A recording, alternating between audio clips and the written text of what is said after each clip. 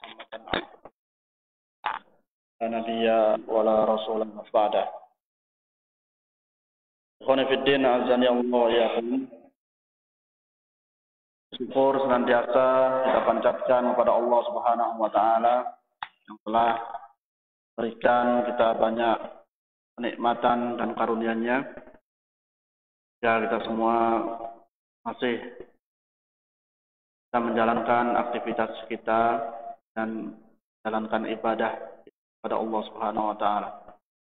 Salam dan salam semoga senantiasa tercurah limpahkan pada nabi kita Nabi Muhammad sallallahu alaihi wasallam pada keluarganya, sahabatnya, orang-orang yang senantiasa meniti jalannya ya datangnya hari kiamat nanti.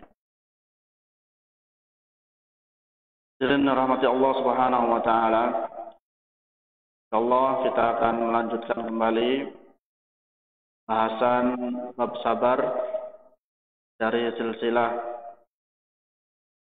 A'malul Qulub dan tema kali ini kita akan membahas tentang sebab-sebab yang dapat membantu meraih sifat sabar. Al-asbab al-mu'ina ala sabr al-sabri wahabiyun am kasbiyun. Tentunya sama ini seperti dulu yang pernah kita bahas tentang sifat ridho ataupun sifat-sifat lainnya. Apakah sabar ini merupakan karunia yang Allah Subhanahu wa taala berikan kepada orang tersebut, Allah kasih kepada hambanya atau sifat ini bisa kita upayakan? belum kita menginjak pada sebab-sebab yang dapat membantu kita meraih sifat sabar. Jadi ada pertanyaan, apakah sabar itu pemberian dari Allah atau sifat sabar bisa kita upayakan? Di sini dalam kitab ini disebutkan katsirun minan nas mimman yadza indal masaib idza nusiha fi dzalika yaqulu inna Allah subhanahu lam yarzuqni as-sabr 'alal masaib. Jadi banyak di antara manusia apabila dinasehatkan tentang sifat sabar atau diingatkan tentang sabar, sabar ya akhi, sabar ya bapak, sabar mas, sabar um. Ketika diingatkan tentang sabar, mereka akan mengatakan Inna Allah subhanahu lam yarzuquni as-sabr alal masaib. Sungguhnya Allah subhanahu wa ta'ala belum mengkaruniaiku sifat sabar terhadap musibah yang saya alami. Banyak di antara manusia yang berkata seperti itu. Ya. Au idza amara bi naw'in min anwa'il ibadah zama annahu lam yunah as-sabr atau ada seseorang yang ketika diingatkan atau diperintahkan untuk sabar dalam menjalankan ketaatan, sabar menjalankan ibadah, sabar dalam dalam menuntut ilmu, mereka mengatakan Allah belum memberi saya sifat sabar untuk menuntut ilmu atau untuk beribadah atau menjalankan ketaatan. Banyak alasannya seperti itu ya.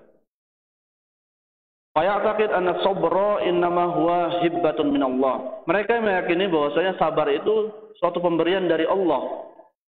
Nah, ketika mereka tidak sabar dalam beribadah, tidak sabar menjalankan ketaatan, tidak sabar untuk menuntut ilmu, mereka katakan Allah belum ngasih kesabaran sama saya gitu.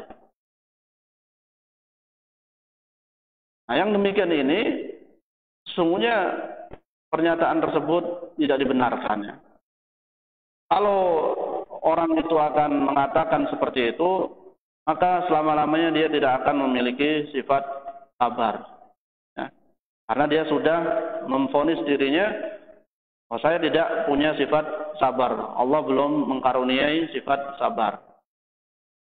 Kalau karena sabar la yahsul bil iktisab la waqafna ajizina amama hadhihi nusus al-amira. Nah, seandainya sabar itu tidak bisa didapatkan, tidak bisa kita upayakan, tidak bisa kita usahakan, tidak bisa kita meraihnya karena itu murni pemberian dari Allah, ya tentunya kita semua menjadi orang-orang yang lemah untuk bisa meraih sifat ini. Selamanya kita tidak akan bisa kalau pikiran kita, mindset kita bahwasanya sabar itu adalah pemberian dari Allah Subhanahu wa taala. Nanti ada ayat-ayat yang merintahkan sabar, ya udah kita akan berhenti di situ. Karena kita merasa oh ini susah. Allah belum mengkaruniai sifat sabar.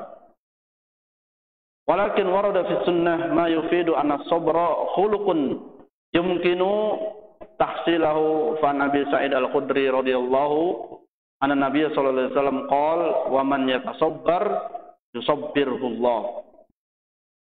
Tetapi di dalam sunnah ya, dalam hadis-hadis Nabi jangan dirawayatkan bahwasanya sifat sabar itu merupakan sifat yang bisa kita raih, sifat yang bisa kita upayakan, sifat yang mungkin tadinya kita tidak memilikinya dengan kita terus membiasakan diri itu ada sifat itu kita miliki ya. Bagaimana dari hadis Abi Sa'id Al-Khudri radhiyallahu anhu Bahwasanya Nabi kita Muhammad SAW mengatakan, "Waman yatasabbar yusabbirullah." Barang siapa yang bersabar, Allah akan berikan sifat sabar ini kepada orang tersebut. Artinya, ketika dia berusaha dan membiasakan dirinya memiliki sifat ini, maka Allah Subhanahu wa taala akan karuniakan dari sifat itu kepada orang tersebut. Jadi bisa diupayakan, bisa diusahakan. Tentunya dengan berserah diri kepada Allah Subhanahu wa taala dan juga berdoa kepada Allah Subhanahu wa taala agar Allah Subhanahu wa taala mengkaruniai sifat sabar itu. Fasabru amalun qalbiyun qad yaktasibuhu al-insan ba'da taufiqillah fi kathratil maron. Jadi sabar itu adalah amalan hati tentunya ya. Itu adalah amalan hati bisa diusahakan, bisa diupayakan oleh manusia, bisa diupayakan oleh kita semua. Bukan hanya para nabi saja, bukan para rasul atau wali-wali Allah Subhanahu wa taala bukan. Kita semua insya Allah bisa mendapatkan sifat tersebut yaitu dengan cara kita berusaha dulu. Ya. Berusaha dan membiasakan diri, kemudian berlatih dengan sifat-sifat tersebut. Tentunya ba'da taufikillah, tentunya setelah taufik dari Allah Subhanahu wa taala. Dan ma'al isti'anah bil asbab allati tu'inuhu 'ala sabr. Serta dibarengi dengan sebab-sebab yang bisa membantu kita untuk meraih sifat tersebut. Selain dengan latihan, dengan upaya yang kita uh, coba berkali-kali ya. dan juga dibarengi dengan sebab-sebab yang mana sebab ini bisa membantu kita semua meraih sifat sabar itu. Apakah sebab-sebab tersebut? Sebab-sebab itu di antaranya yang pertama adalah ma'rifatu tabi'atil hayatid dunya jadi yang pertama sebab yang pertama yang dapat membantu kita untuk bisa memiliki sifat sabar hendaknya kita mengetahui tabiat kehidupan dunia. Yang pertama adalah kita harus tahu dulu hakikat dunia itu seperti apa kehidupan dunia ini. Kita di dunia ini apakah kita dari awal terlahirkan di muka bumi ini kita selalu dalam kondisi yang enak, yang nyaman. Seorang itu terlahir dalam kondisi senang terus, bahagia terus, nggak pernah sedih, nggak pernah susah. Nah, kita harus mengetahui hakikat atau tabiat kehidupan dunia seperti apa itu. Wa ma jubilat alaihi minal wal ana dan apa-apa yang terjadi di dalamnya berupa kesusahan itu adalah kehidupan dunia. Jadi ketika seseorang mengetahui hakikat atau tabiat kehidupan dunia, bahwasanya dunia itu penuh dengan kala, penuh dengan ujian, penuh dengan kesusahan. Tidak ada orang yang terlahir kemudian dia dari hari ke hari uh, sehingga dewasa dia tidak pernah merasakan sedih, tidak pernah merasakan susah, nggak ada. Nah kalau kita mengetahui hakikat yang tersebut, yang harus kita lakukan ya tentunya bersabar. Ya. Uh, jalan yang uh, solusi yang harus kita keluarkan, yang harus kita hadapi untuk masalah dunia ini, ya bersabar kepada sebab-sebab dunia tadi yang bikin kita susah ya. Nah ini pertama sebab-sebab yang dapat membantu kita untuk meraih sifat sabar. Jadi bahwa sekalian harus mengetahui hakikat dunia ini terlebih dahulu. Kalau kita tahu tentang kondisi dunia, bahwa dunia ada yang e, naik turun, kadang enak, kadang tidak, kita akan mengetahui kondisi kita ketika menjalani kehidupan di dunia. Kemudian yang kedua adalah al-iman bi anna dunya kulluha milkun lillahi ta'ala. Sebab kedua yang dapat membantu kita memiliki sifat sabar yaitu kita beriman. Kita beriman bahwasanya dunia itu semuanya milik Allah taala. Kita meyakini semua apa yang di dunia milik Allah Subhanahu wa taala. Bagaimana? Allah Subhanahu wa taala yu'ti man yasha wa yamna. Karena dunia ini dan isinya milik Allah Subhanahu wa taala, maka Allah Subhanahu wa taala akan memberikan dunia ini pada siapa yang dia kehendaki dan Allah juga akan mencegah siapa yang dia larang. Nah, Wa ma bikum min ni'matin fa min Allah. Apa-apa nikmat yang kalian peroleh sungguhnya semuanya dari dari Allah. Walidzalika fa idza haramal insan min syai'in wa batala fa alaihi an yaqul inna lillahi wa inna ilaihi raji'un. Oleh karena itu ketika seseorang diharamkan untuk memperoleh sesuatu ya atau dia diuji dengan suatu ujian maka ucapan yang pantas yang hendak dia ucapkan adalah inna lillahi wa inna ilaihi rajiun ya.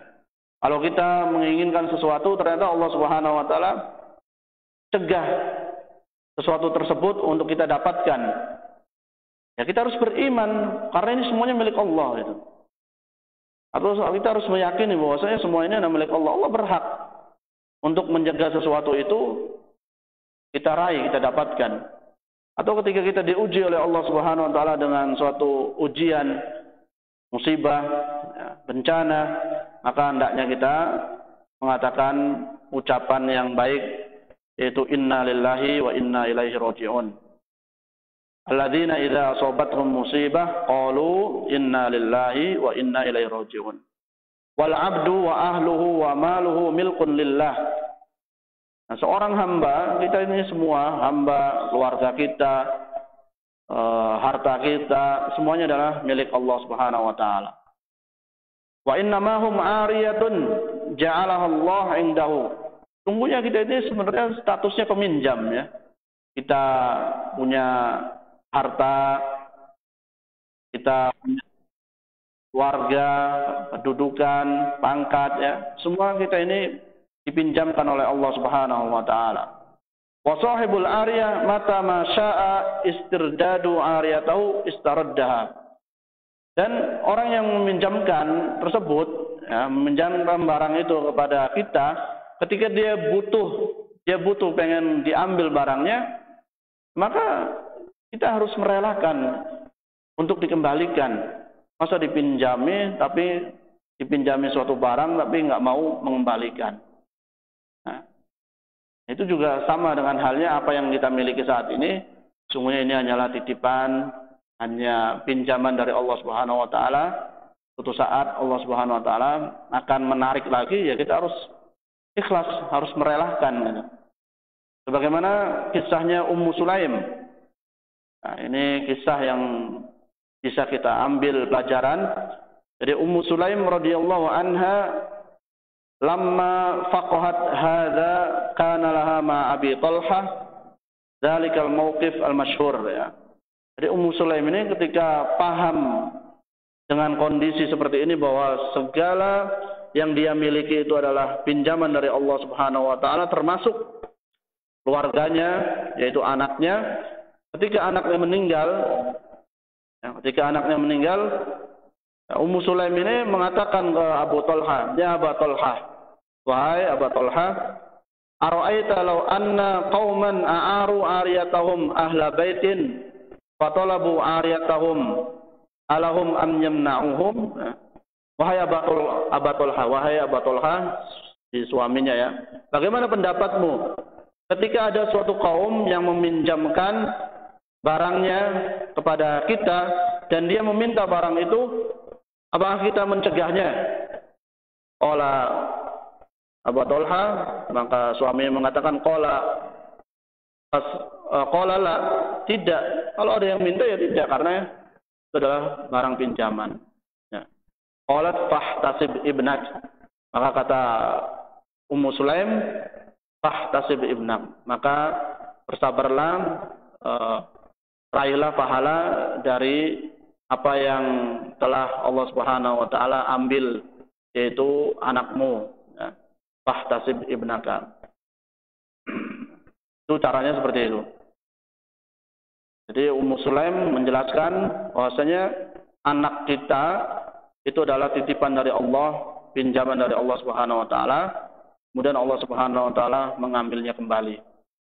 Nah, Ummu Sulaim mengkiaskan ya, memisalkan anaknya itu seperti barang pinjaman. Maka Abu Talha tadi menjawab, ya kalau Allah mau ngambil ya tidak ada masalah kan itu. Ternyata ya Ummu Sulaim meminta agar Abu Talha bersabar dengan kondisi seperti ini. Nah kita pun kalau kita meyakini bahwasanya dunia itu semuanya milik Allah Subhanahu wa taala, maka insya Allah ini bisa membantu kita meraih sifat sabar tadi. Jadi semuanya milik Allah. Ngapain kita harus eh, marah-marah? Uh, ngapain kita harus emosi? Ya? Udah serahkan semua kepada yang punyanya lagi baik itu berupa keluarga kita ataupun harta yang kita miliki. Tidak ada hak untuk kita e, menolaknya ketika sang pemilik ingin mengambil barangnya lagi ya. Kemudian yang ketiga, sebab yang dapat kita yang dapat membantu kita memiliki sifat sabar yaitu ma'rifatul jaza was ala hadha sabr. Ketiga ini hendaknya antum mengetahui balasan pahala dari sifat sabar ini. Jadi segala sesuatu harus tahu manfaatnya, harus tahu keutamaannya.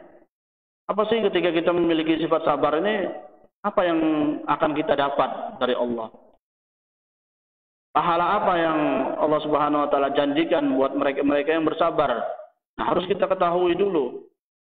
Supaya kalau kita tahu, nanti pengetahuan ini dapat membantu kita meraih sifat tersebut. Kalau kita tidak tahu keutamaannya, tidak tahu faedahnya, bahkan balasannya kita juga tidak tahu apa yang telah dijanjikan Allah, Allah Subhanahu wa kita kurang semangat untuk meraih sifat tersebut dan amalan-amalan lainnya. Hendaknya kita harus mengetahui balasan yang Allah Subhanahu wa taala janjikan kepada kita. Seperti ketika kita rajin melaksanakan puasa Senin Kemis, ya kita harus tahu apa sih pahala yang akan kita dapatkan ketika kita rajin menjalankan puasa sunnah Senin Kemis, menjalankan qiyamul lail, ya, menjalankan sholat duha, menjalankan sholat lima waktu di masjid, ya harus semuanya harus tahu keutamaan keutamaannya dan balasan-balasan yang Allah Subhanahu wa taala janjikan kepada kita semua. Dia harus tahu supaya kita menjalankannya penuh dengan semangat. Nah, kalau kita tidak tahu hanya mengalir saja, ini khawatir kita pun uh, kurang semangat dalam menjalankan amalan-amalan tersebut.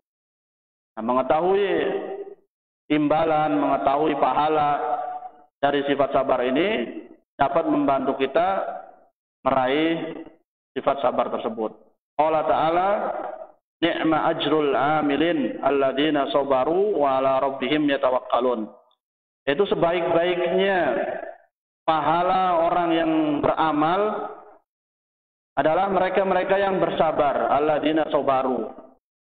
Ya, wa ala rabbihim yatawakkalun. Dan kepada Tuhannya mereka bertawakal. Jadi nikma ajrul amilin, sebaik-baiknya pahala orang-orang yang beramal yaitu orang-orang yang bersabar. Ya pahalanya orang-orang yang bersabar.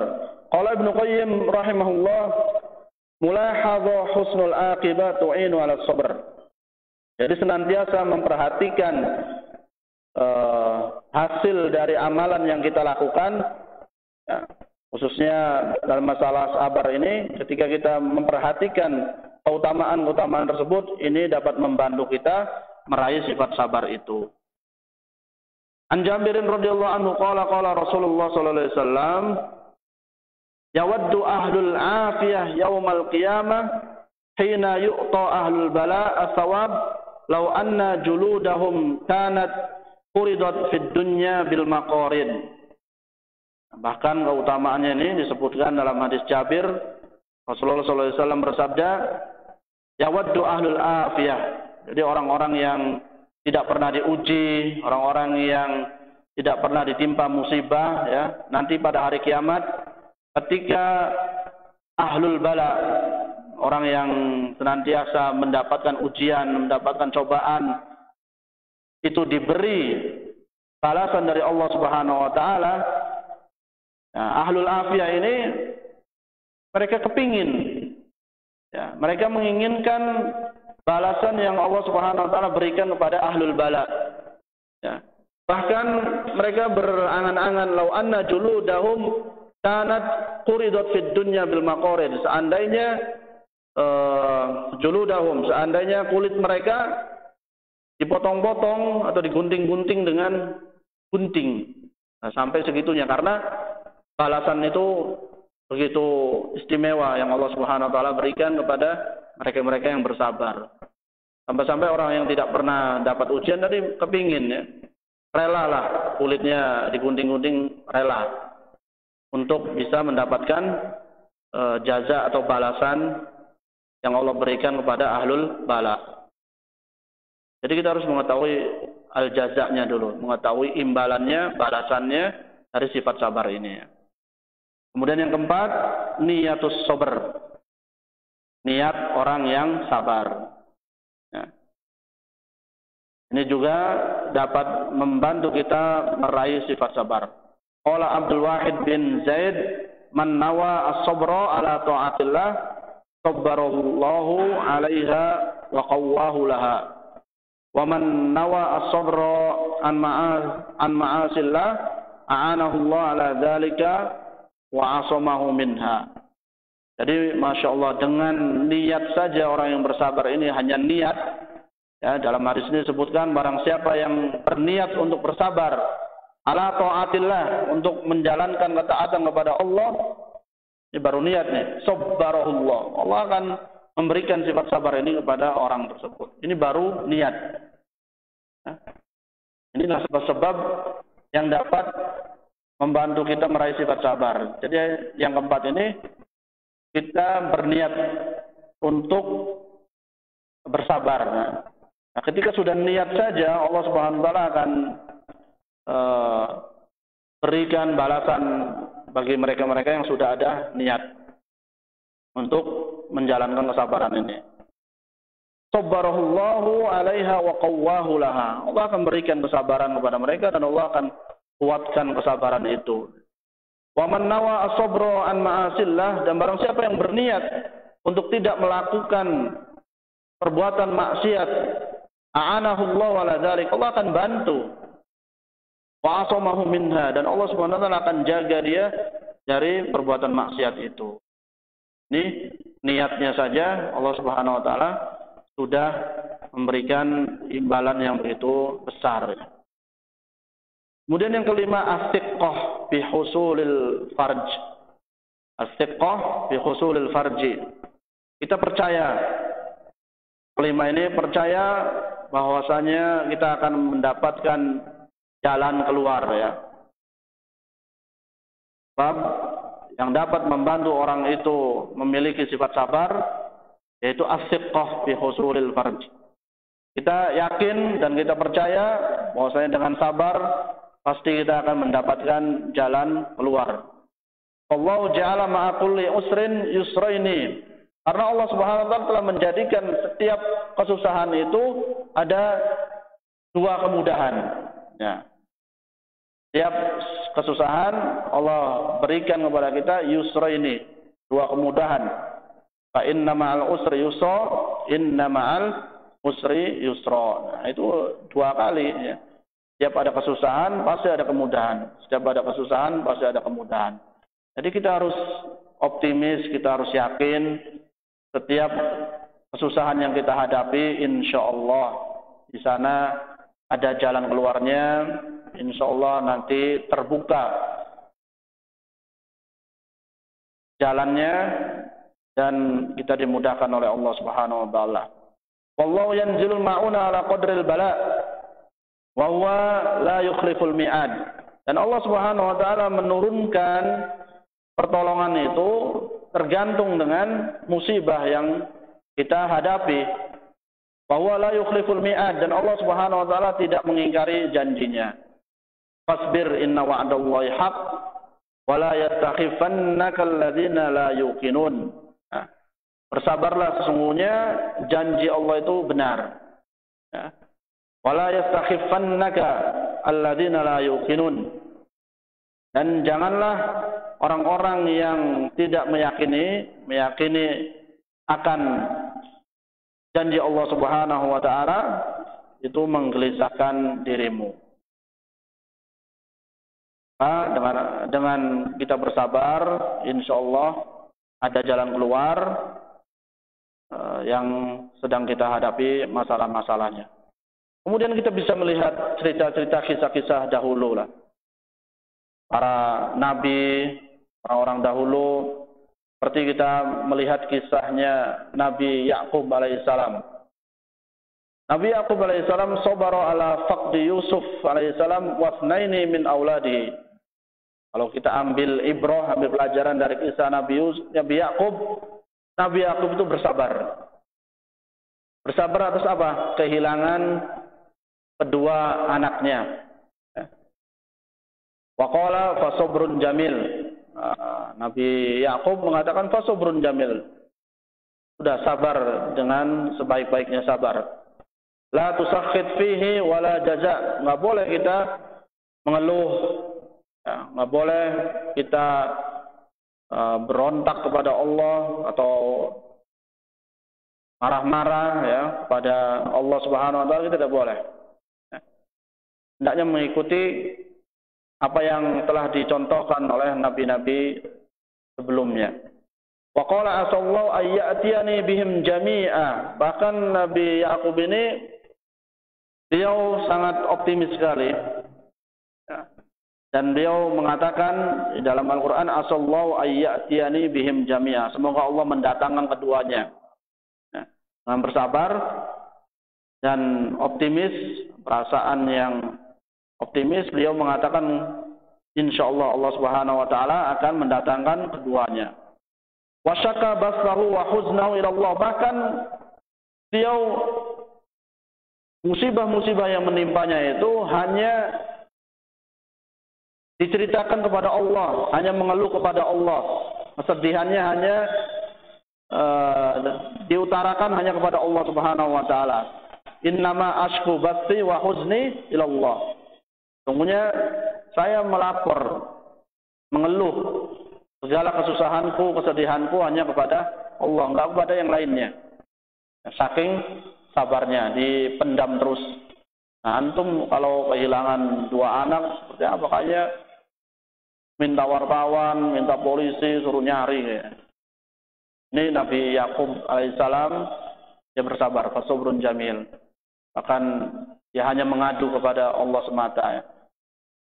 Walam yasuk ilal walam yasku ilal makhlukin, tidak pernah mengeluh, tidak pernah melapor, tidak pernah mengadu kepada makhluknya. Fahasalahu al-farj ba'da dzalika wajtama'a lahu auladuhu jami'an. Maka akhirnya Allah Subhanahu wa taala bukakan jalan keluarnya dan Allah kumpulkan keduanya.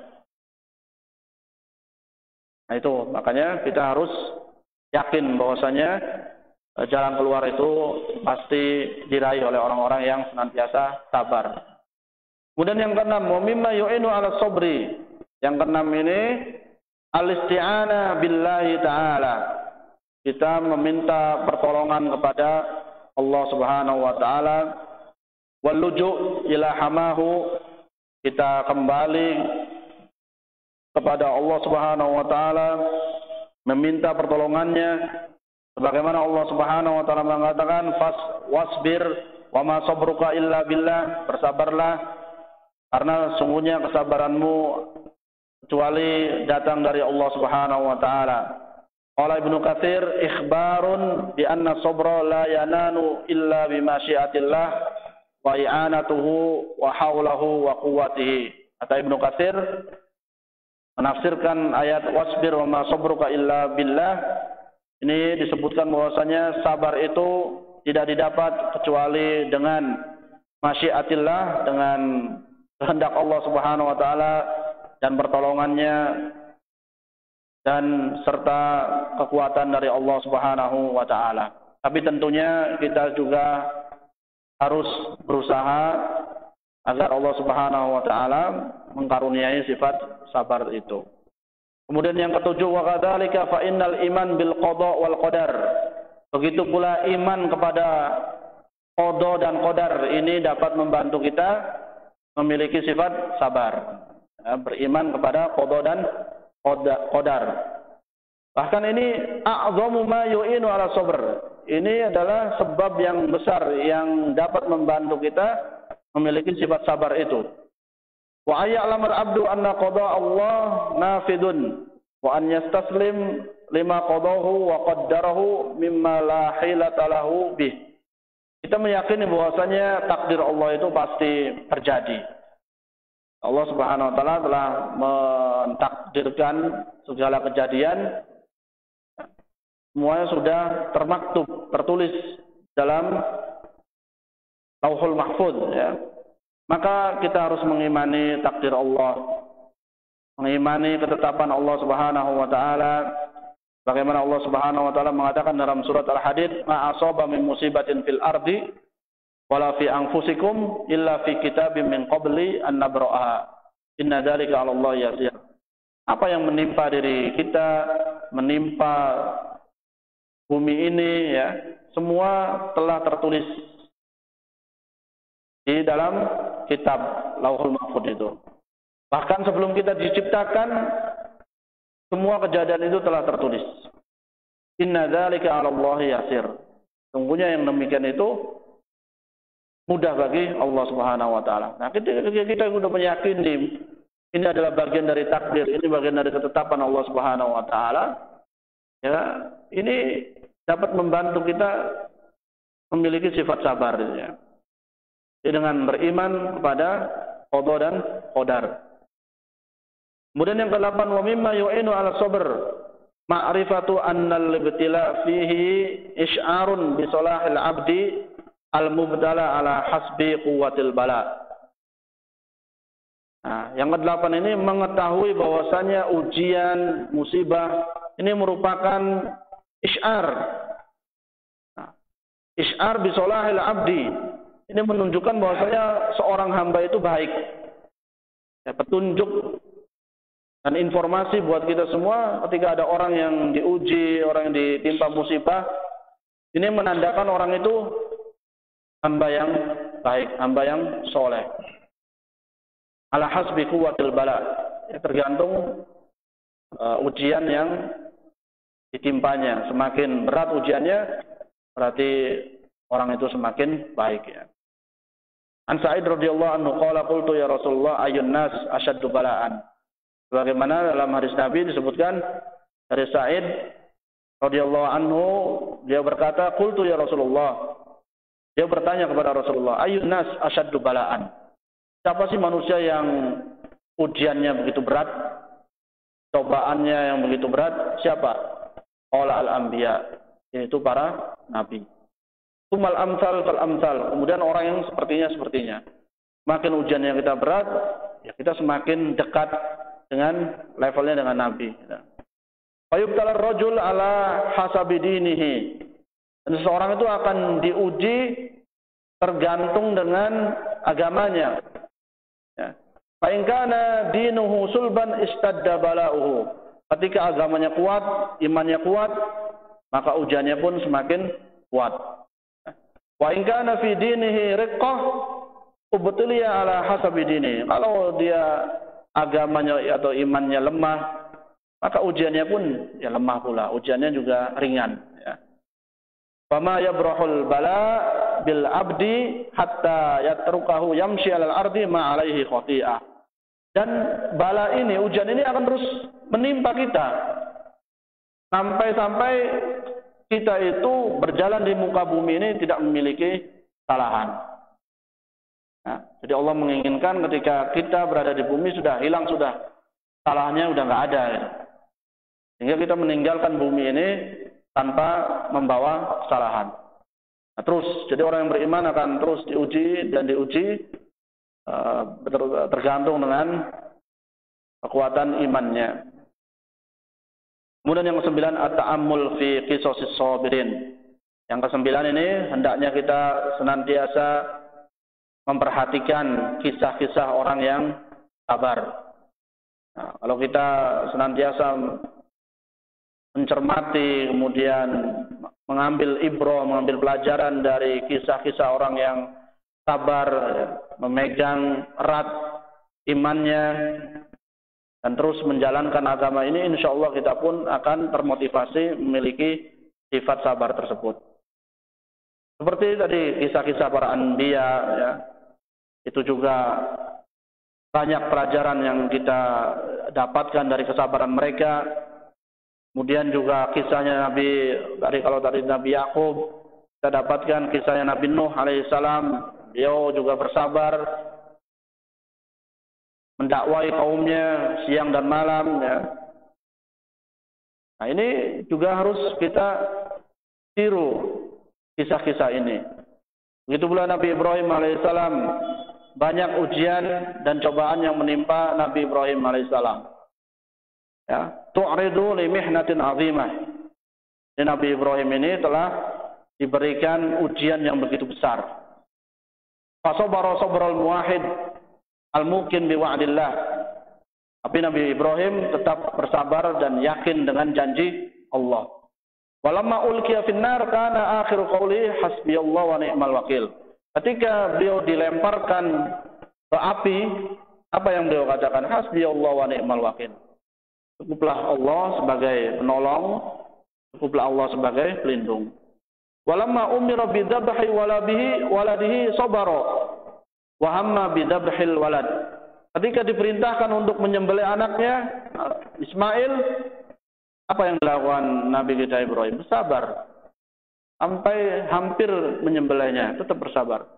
Wa akhadha sikin wa aj'al walad istislaman li amrillah.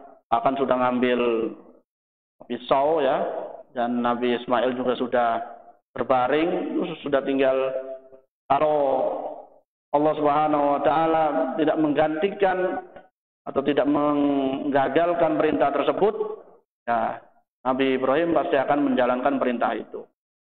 Wa umira bitarkiz zaujihi wa waladihi fi wadin ghairi di zar'in fa sabara ala dzalik.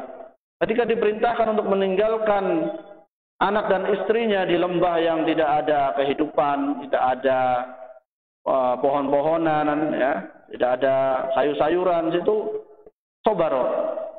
Nabi Ibrahim tetap bersabar. Wa ibnahu hadithu ahdi biwalad biwalad biwaladah. Dan padahal Nabi Ibrahim itu baru mendapatkan seorang anak. Tapi masya Allah sabarnya begitu kuat. Wa Ibrahim karena akiman karena dulunya ya telah dikiranya mandul ya tidak punya anak. Wa ma wulida lahu Ismail illa ba'da sawana tawila jiddan faqad dakhala fi ahdi syaykhukhah allati yahtaj fiha aktsar ma yahtaju ila al-walad alladhi yu'inuhu. Ya.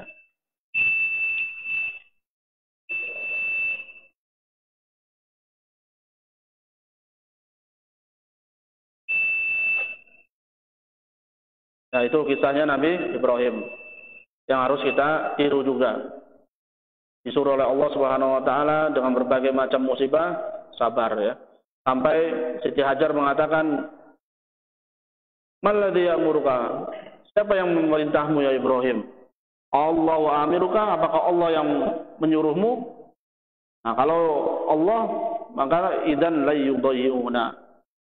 Nah, jadi Sarah eh, Hajar keyakinan kalau Allah itu yang menyuruhnya, Allah nggak akan menelantarkan kita. Suatu keyakinan yang dalam sekali uh, pada dari Nabi Ibrahim alaihissalam. Jadi kita dengarkan azan salat Isya terlebih dahulu.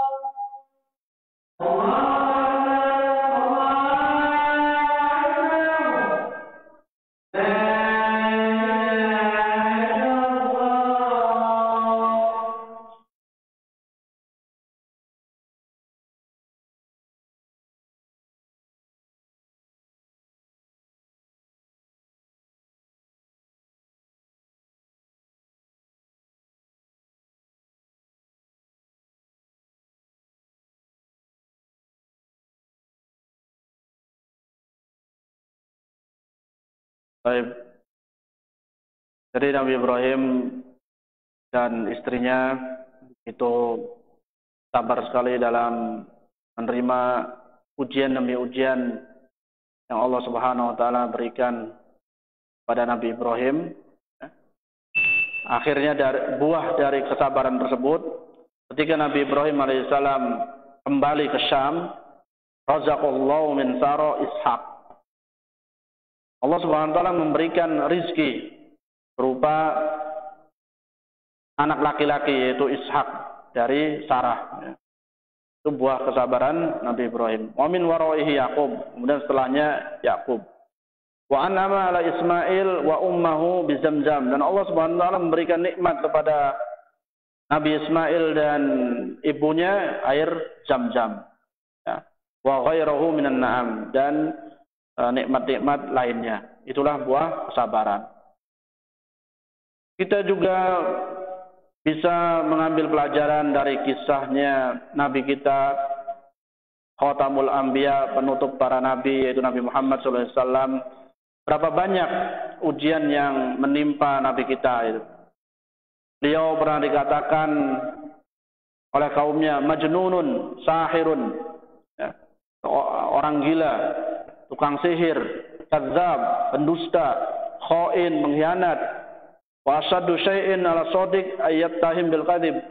sungguh sesuatu yang buruk sekali ketika orang terkenal jujur malah dituduh sebagai orang pembohong. Ya. Orang yang berakal malah dihina atau dituduh sebagai orang gila.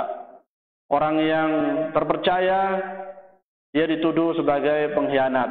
Nah, ini adalah cobaan-cobaan uh, yang dihadapi oleh Nabi kita Nabi Muhammad SAW. Tapi beliau tetap bersabar dan buah kesabarannya agama ini ya menjadi rahmatan lil alamin uh, dan beliau menjadi orang yang yang mulia di antara para nabi.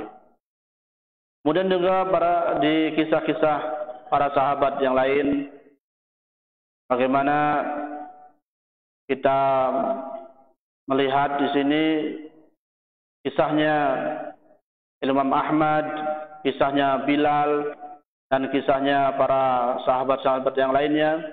Imam Ahmad pun ketika diminta untuk mengatakan bahwa Al-Quran ini makhluk, Imam Muhammad tetap, eh, Imam Ahmad tetap bersabar, pegang pada keyakinannya bahwasanya Al-Quran itu bukan makhluk.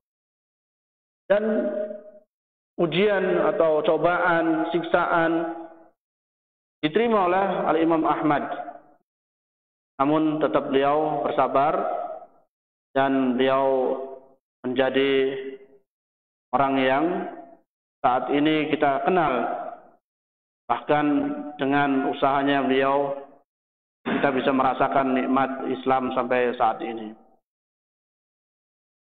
Dan banyak lagi kisah-kisah yang bisa kita dapatkan dari kisah-kisah para salaf jika mereka e, bersabar menghadapi ujian baik ujian yang datang dari Allah Subhanahu wa taala atau ujian yang datang dari kaumnya atau ujian yang datang dari penguasa pada saat itu.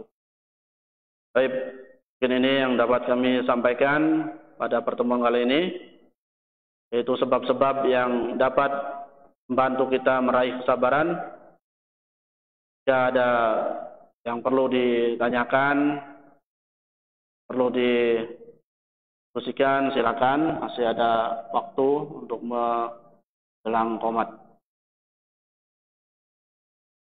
Ya Pak, monggo Pak.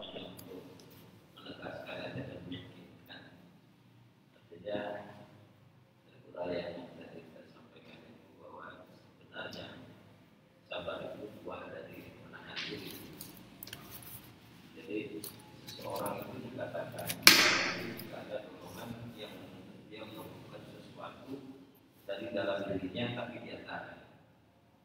Jadi kesimpulannya bahwa sabar itu sebenarnya aktif, bukan pasif. Karena di masyarakat itu masih sering kita tahu apa sabar itu diam. Padahal kalau tadi yang mulai sebenarnya eh, sabar itu merupakan pilihan. Pilihannya itu kan ada di kita. Kita bisa bersabar atau tidak. Jadi ketika kita melihat sesuatu, batilan atau misalnya melihat sesuatu, jadi kita bisa aktif gitu. atau kita diam.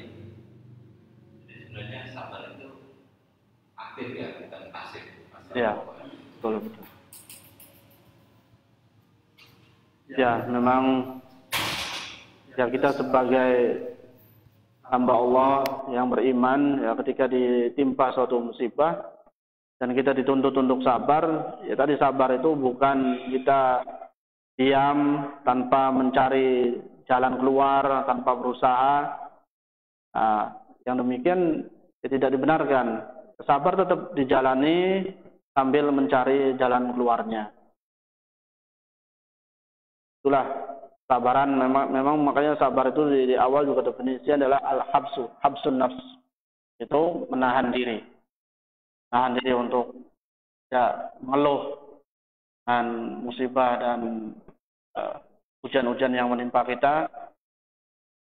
Nah, ketika kita mampu untuk menahan diri kita, ini insya Allah kita menjadi orang-orang yang sabar. Ya. Ya lagi. Ya,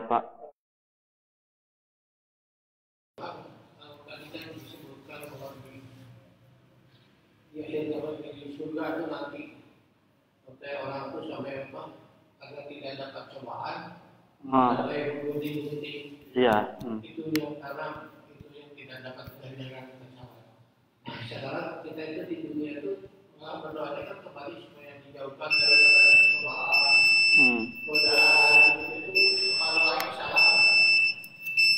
Ya, ya tidak salah. Memang kita diperintahkan untuk meminta keselamatan, meminta kesehatan. Ya. Itu Nabi yang menyuruh. Tapi ketika ditimpa musibah, ditimpa ujian, ketika kita harus bersabar tadi, bersabar ya. Kemudian hadis tadi menyebutkan itu karena eh, irinya orang yang tidak pernah diuji atau ujiannya tidak seberat oleh orang-orang yang mendapatkan pahala tadi, mereka itu iri. Ternyata balasannya masya Allah begitu besar sehingga dia kepingin seandainya di dunia dia masih hidup kemudian digunting-gunting, nah dia rela karena nikmat ajrul amilin sebaik-baiknya pahala yang didapat oleh orang-orang yang uh, melakukan sabar atau memiliki sifat sabar ya. Allah taala. Mungkin itu Pak. Baik, kita cukupkan sampai di sini.